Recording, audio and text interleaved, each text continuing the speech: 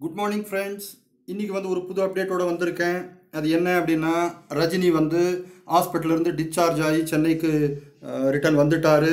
So இது எல்லாருக்குமே ஒரு சந்தோஷமான செய்தி தான் ஆனால் அவருக்கு வந்து இந்த அண்ணாத்தே படத்தில் வந்து நடிச்சுட்டு இருக்கிறப்போ ரெண்டு மூணு பேருக்கு அங்கே வந்த கொரோனா பீதியால் அவர் ஹாஸ்பிட்டல் அட்மிட் பண்ணி செக் பண்ணியிருக்காங்க. பட் பயப்படுறதுக்கு ஒன்றும் இல்லை. அவர் ஆல்ரெடி ஒரு ஒரு அண்டர் அப்சர்வேஷன் இருக்கிறதுனால அல்லது ஆப்ரேஷன்லாம் பண்ணியிருக்கிறதுனால ஸோ ஹாஸ்பிட்டல்ஸ் வந்து சொல்லியிருக்கு இந்த மாதிரி நீங்கள் ஒரு ஒன் வீக் ஃபுல் ரெஸ்ட் எடுக்கணும் அப்படின்னு. எனிவே நல்லபடியாக அவருக்கு வந்து கொரோனா இல்லைங்கிறதுனால அவர் சென்னை வந்துட்டார். சென்னை வந்த உடனே லதா ரஜினிகாந்த் அவங்கள அவங்கள ஆரத்தி எடுத்து அவங்கள வீட்டுக்கும் கூப்பிட்டுட்டு வந்து வந்துட்டாங்க. இப்போ அடுத்து என்ன அப்படின்னா ஒன் வீக்கில் வந்து அவர் பார்ட்டி அனௌன்ஸ் பண்ணுறேன் அப்படின்ட்டு இருக்காரு. பட் இப்போ இருக்கிற ஹெல்த் கண்டிஷனில் அரசியல் கட்சி சாத்தியமா? அல்லது ரஜினி வந்து உண்மையிலேயே அவர் சொன்னபடி அந்த டேட்டில் தன்னோட பார்ட்டியை வந்து அனௌன்ஸ் பண்ணுவாரா? ஸோ இது என்னை பொறுத்த வரைக்கும் கொஞ்சம் டவுட்டான விஷயந்தான் ஏன்னா அவருக்குன்னு இப்போ நிறைய கமிட்மெண்ட்ஸ் இருக்குது ஆல்ரெடி அவர் அண்ணாத்திய படத்தில் நடிச்சிருக்காரு. அதுக்கப்புறமும் ஏதோ ஒரு படம் கமிட் பண்ணி பண்ணியிருக்காருன்னு நினைக்கிறேன். ஸோ படம் அப்படின்னு பார்த்தா அவர் ஸ்டில் கன்ஃபியூஸில் இருக்கிற மாதிரி தான் தோணுது.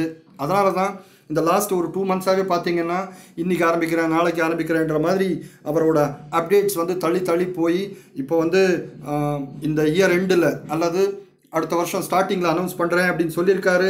பட் அது எந்த அளவுக்கு சாத்தியம்ன்றது தெரியல. ஏன்னா ரஜினி வந்து ரொம்ப காலமாகவே இந்த அரசியல் கட்சிங்கிற ஒரு ஆரம்பிக்கணுமா வேணாமான்ற ஒரு கன்ஃபியூஸில் தான் இருக்கார். காரணம் என்னென்னா நிறைய நிறைய பெரிய ஆளுங்க சிரஞ்சீவி ஆகட்டும் சிவாஜி கணேசன் ஆகட்டும் ஈவன் இப்போ இருக்கிற விஜயகாந்த். ஸோ எல்லாமே பொலிட்டிக்கல் பார்ட்டிஸ் ஆரம்பித்து ஸோ ஸ்டார்டிங்கில் வந்து ரொம்ப அழகாக பேர் வாங்கி டக்குன்னு வந்து டோட்டலாக காணாமல் போயிருக்காங்க. அதனால் அந்த பயம் ரஜினிக்கும் நிச்சயமாக இருக்கும்.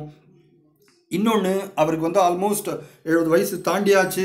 ஸோ இனி அரசியல் கட்சி ஆரம்பித்து ஒரு என்ன சொல்கிறது வாழ்க்கையில் வந்து பேரம் பேத்திகளோட கழிக்க வேண்டிய வாழ்க்கையை வந்து இந்த பாலிட்டிக்ஸ்னு போட்டு குழப்பி ம- ம மனதளவில் உளைச்சலை ஏற்படுத்தி அவருக்கு இன்னும் உடம்பெல்லாம் வந்து கெட்டு போகாமல் இருக்கணும் அல்லது நல்லபடியாக இருக்கணும் அப்படின்னா என்னோட பாயிண்ட் ஆஃப் வியூவில் அவர் அரசியல் கட்சி ஆரம்பிக்காமல் ஏதாவது ஒரு பார்ட்டிக்கு வேணால் அவர் சப்போர்ட் பண்ணிட்டு போகலாம் இதர் டிஎம்கேயோ இல்லை ஏடிஎம்கேயோ இல்லை கமல்ஹாசனோ இல்லை பிஜேபியோ யாருக்கு வேணால் அவர் வந்து தன்னோட ஆதரவை தெரிவிச்சுட்டு அழகாக வந்து லைஃப்பை அவர் ரன் பண்ணலாம்.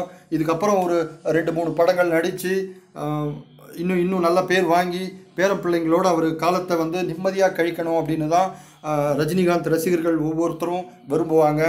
ஏன்னா கட்சி ஆரம்பிக்கிறது சாதாரண மேட்டர் கிடையாது. ஸோ அது அது என்ன சொல்கிறது மனதளவில் நிறைய ப பிரச்சனை தான் கொடுக்கும்.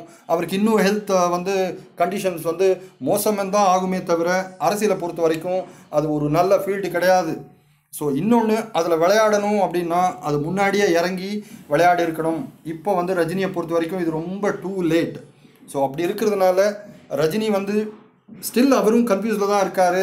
ரெண்டு மூணு பேர் அவரை உசுப்பி விடுறத வச்சு அவர் அப்பப்போ ஏதாவது அறிக்கை கொடுக்குறாரே தவிர இன்னும் ஹண்ட்ரட் பர்சன்ட் கான்ஃபிடென்ட்டாக நான் பாலிட்டிக்ஸ் வருவேன் ஆரம்பிப்பேன்ற ஒரு மனநிலைக்கு அவர் இன்னும் வரலேன்னு தான் தோணுது. அதுக்கிடையில் இந்த மாதிரி சின்ன சின்ன ஹெல்த் இஷ்யூஸ் எல்லாம் இருக்குது ஸோ அதனால் ரஜினி கட்சி ஆரம்பிக்கிறத விட ஒழுங்காக சினிமாவை பார்த்துட்டு போகலாம் இல்லை அப்படி கட்டாயம் ஆரம்பிக்கணும் அப்படின்னா கட்சி ஆரம்பிக்கிறதுக்கு பதிலாக ஏதாவது ஒரு பார்ட்டிக்கு அவருக்கு விருப்பப்பட்ட பார்ட்டிக்கு அவர் வந்து சப்போர்ட்டை கொடுத்துட்டு அவரோட லைஃப்பை வந்து கண்டினியூ பண்ணலாம்னு நினைக்கிறது தான் என்னோட எண்ணம்.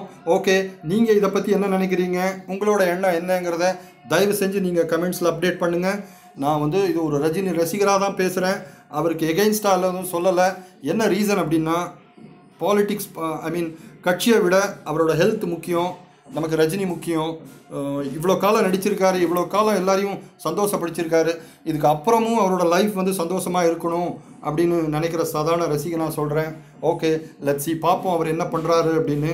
தேங்க்ஸ் அலாட் ஃபார் வாட்சிங் பபாய்